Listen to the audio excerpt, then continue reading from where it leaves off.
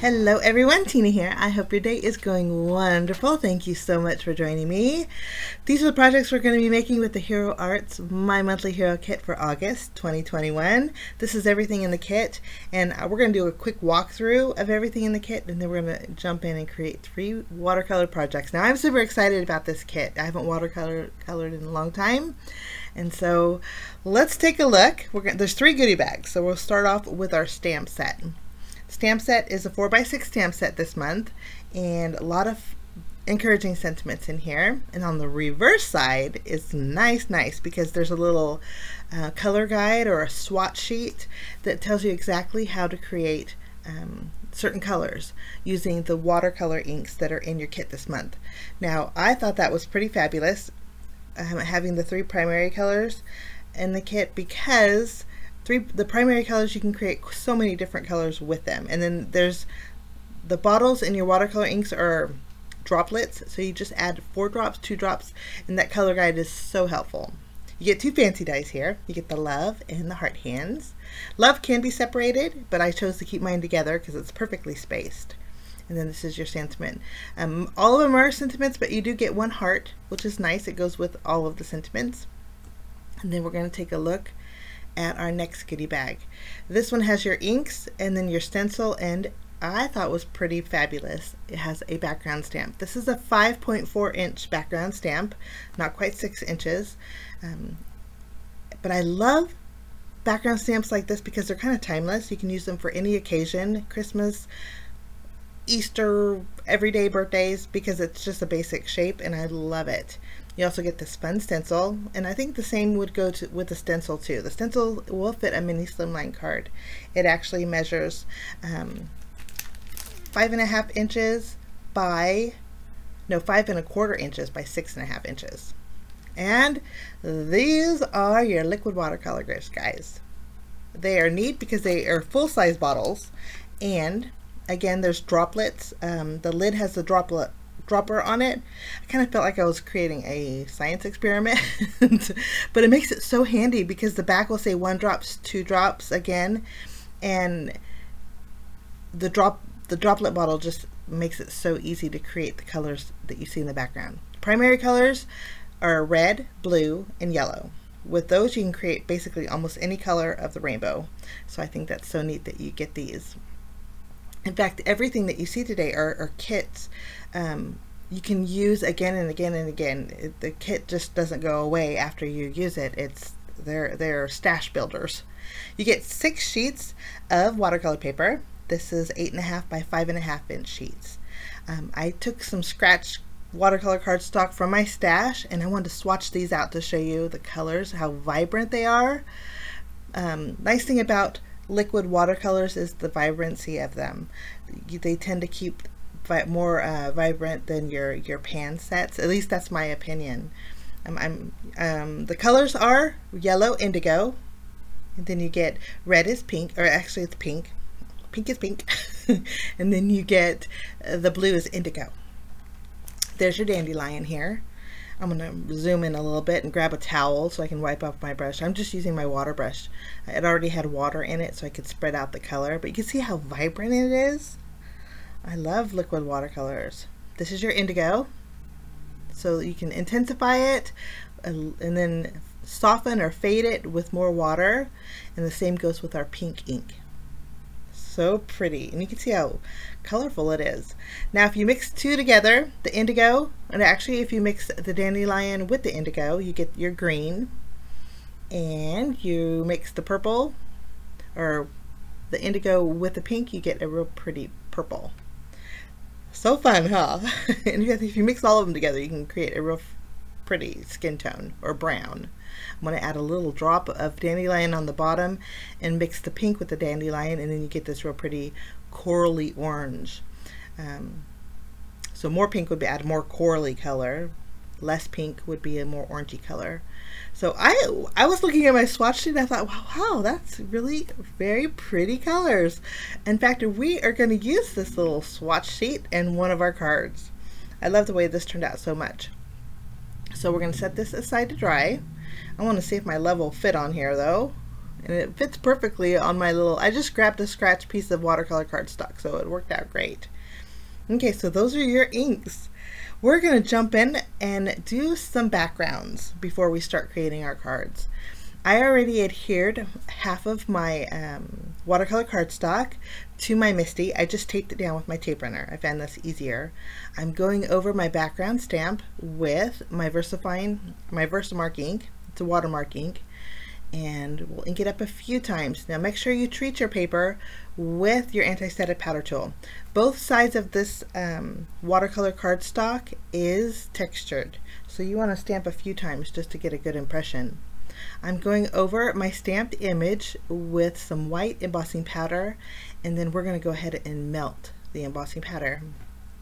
Now I wanted to add a little bit of something else in my background so I'm bringing in some of my Distress Resist spray.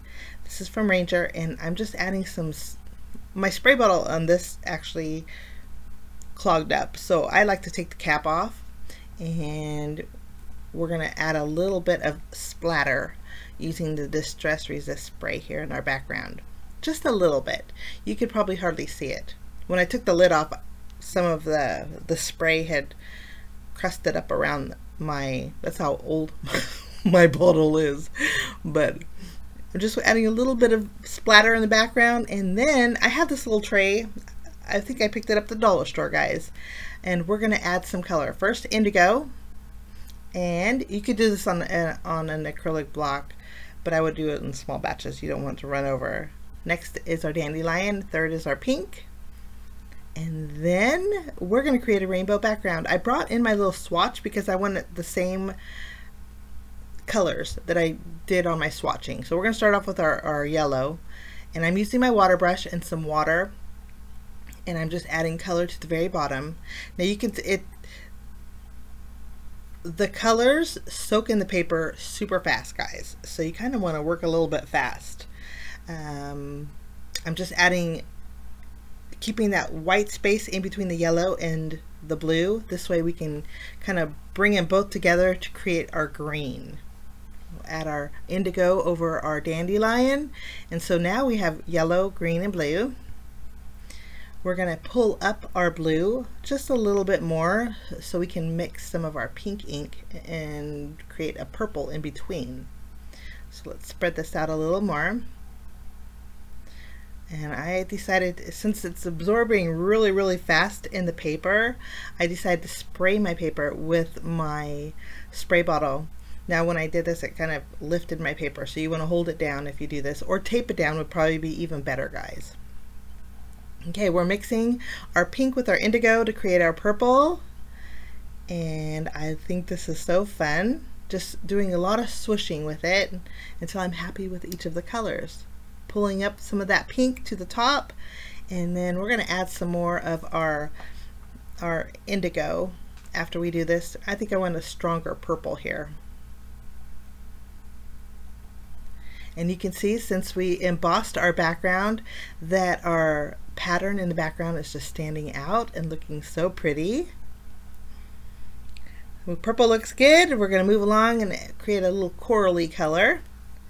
Add a little water and add some of our dandelion, kind of overlapping. We're going to take dandelion all the way to the top. Add some of our pink to create our orangish color. This is so therapeutic. I just love doing this. Eh, there's no right or wrong reason guys. You could do this actually at a diagonal too and I think that would be pretty. Or you could go vertical too. I think that would be nice. I'm going to strengthen up my green on the very bottom. So to do that I found it's better just to create a green ink. So we're adding our dandelion. I'm going to intensify our dandelion on the bottom and then I'm going to tap my brush in my indigo ink just once and then we're going to add that to our dandelion. Now, of course, I'm not using the coloring guide. I'm pretty good with colors only because um, as a baker, I created all different colors of frostings. And so um, I'm, I'm used to mixing. But if you guys have trouble, you know, creating colors, use your color guide. It's so, so helpful. And I think that looks wonderful. Love that. Now that is one panel. Now my panel is very, very saturated, guys. I suggest setting this aside to dry, air dry, and this way your paper doesn't warp as much but I'm going to speed up the drying process using my heat gun so that that's just going to make it warp a little bit more. Now we are going to do some some rainbow tie-dye looking with our stencil. I went ahead and sprayed by the back of my stencil with pixie spray. Now two things, my pixie spray is almost gone um, so it didn't have the tackiness that I really wanted.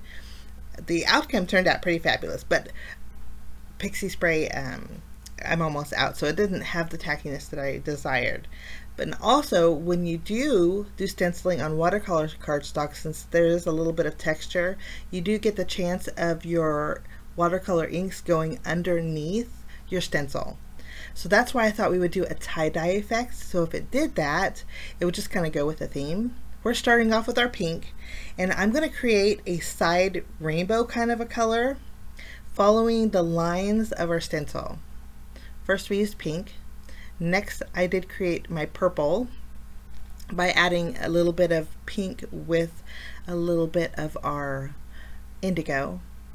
We're going to add pink and then create our purple ink and just go and it doesn't have to be perfect guys I'm just actually add it the paper absorbs really fast you'll find this out um, but I'm gonna go ahead and add my blue to the purple kind of overlapping as I go such a beautiful, beautiful blue.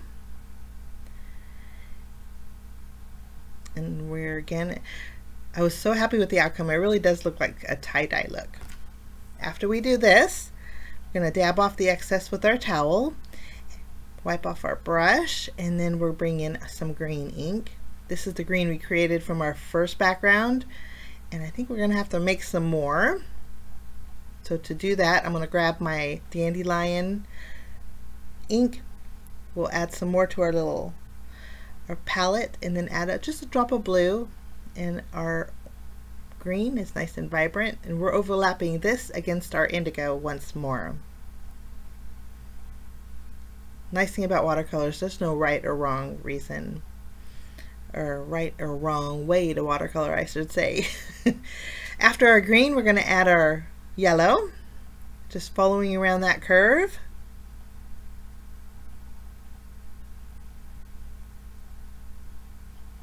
I should change my water out, but the, the camera's rolling, so I'm going to continue. We're going to add a little more green to our yellow, kind of make it a little more vibrant. After yellow, we are to, I created an orange with my dandelion and my pink. We're going to add our orange go over, kind of overlapping our yellow again. And I think we're going to just have enough for the orange here. And then our last color, we're going to go over it and end it with the pink. We began it with the pink, we're going to end it with the pink. Dab off the excess here. And pick up our pink. I love the way this turned out. It's pretty neat. Kind of really goes with with the, the bubble love too. Kind of a tie-dye look. Okay, and that's it. If you wanted to add some white splatters or put some of your Distress Resist spray on this too, I think that would look nice. But I'm going to leave this just as it is because when we removed the stencil, some of that ink kind of crawled underneath and it really created a fun tie-dye look.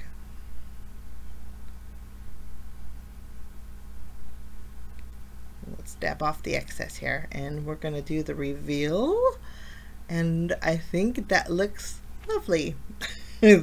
That's our background number two. Now while we're at it, I stamped the I love you on the same watercolor cardstock and then I heat embossed it with white embossing powder. I just created a, a rainbow right over those letters and then I also stamped the heart three times on a strip of the watercolor cardstock and we're going to create a rainbow with this. Now I'm not going to use these. I thought I could use them on a project but I ended up not using it. But this is another way you could create a card with. If you put the three I love yous on the center of a black cardstock I think that would look really pretty. We'll add our purple over the heart, add a little bit of our pink after the purple, add a little bit of orange, We'll add some yellow, I did clean my water out, but it, it, it doesn't last clean long. Add some green. So these are nice and, and, good to go. I just wanted to show you another option. I left this in only because even though we're not using them today, this is another option on how to use your, your watercolors. And if you have them on strips, you can let them dry and your hands don't get icky up either. You just take a towel and go over your embossed area and then we're, you're good to go. Now, since we have all the colors out, it's so easy to create a brown. Um, I have another piece of watercolor cardstock. The brown, it actually tells you how to create it on the back side. You can follow that. Um, I, like I said, I'm pretty good with the coloring. So I'm just going to add some blue to the orange and it will create a little bit of red. It'll create a nice brown tone. This way we can die cut out our heart hands. I'm going to add some water to that brown. It's a little bit rich. And then we're going to go ahead and just ink up the lower half of our cardstock here. And again, it absorbs the paper really fast, so you want to work kind of fast. I'm just doing some swishy lines. And it looks like we're out of ink, so we're going to need to create a little bit more. I don't think my heart hands are going to fit over it. We're going to grab it and see if we can fit the length of it. And I think we need to add a little bit more. So I'm just going to add some of my purple to my green. And I think we're going to have to darken it up a bit. Purple and green is going to create a darker brown, but I think it will work.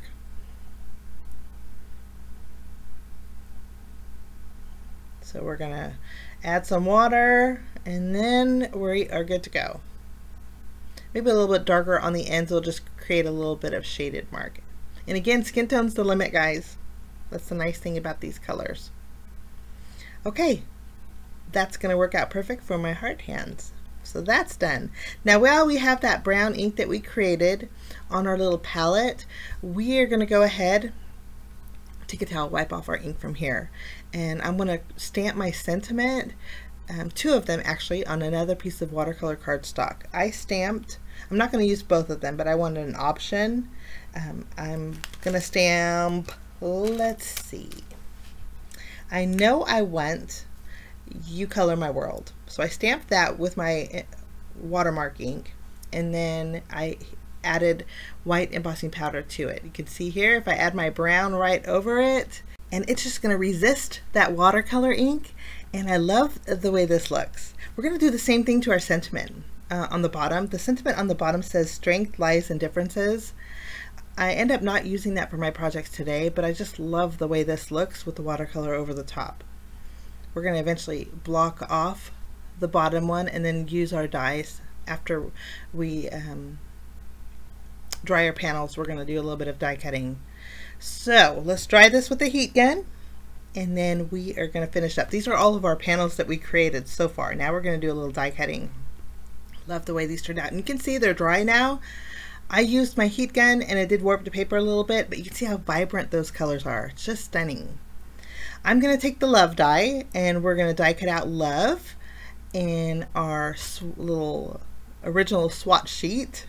And we're going to use a negative piece of this, not the positive. So you can make another card with the positive pieces. Just went ahead and grabbed. In case I wanted to use the center of the O, I grabbed it just so I didn't lose it. Now we're going to take the heart hands, die cut out them out. And I didn't know this, that this did this, but your heart hands, guys, stay connected in your cardstock. How fantastic is that? Just push your hands up behind and it automatically creates dimension. How fun is this? I love that there's score marks on the left and right.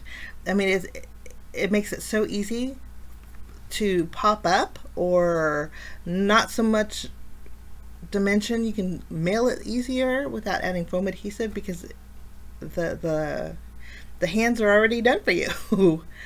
I'm going to go ahead and trim down my rainbow I love yous. I trimmed them down to three and a quarter inches. So they're good to go. Now I'm going to take one of my nesting circle infinity dies and we're going to die cut out our sentiment that says you color my world. and we'll just tape this down, run this through the die cutting machine. Now after we have everything die cut, there's our heart hands. I did separate them. Um, I have a different plan for those, but we I love the way the background looks, but we're going to go one step further. That's why the video is a little bit long because of the process. I am going to bring in another background stamp for my stash. This is the Hero Arts Script Bold Prints background. love the scripty font on here. I'm going to add this to my MISTI and we're going to add some scripty letters in the background of all of our pieces here.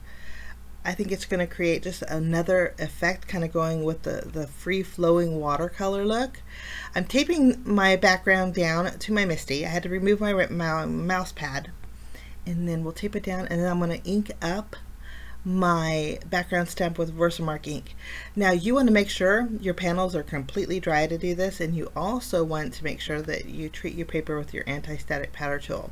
Now I'm doing this after the fact because I want since we watercolored over the top, I didn't want um, a white print in the background. I wanted a rainbow print. So we're going to use clear embossing powder after we ink this up.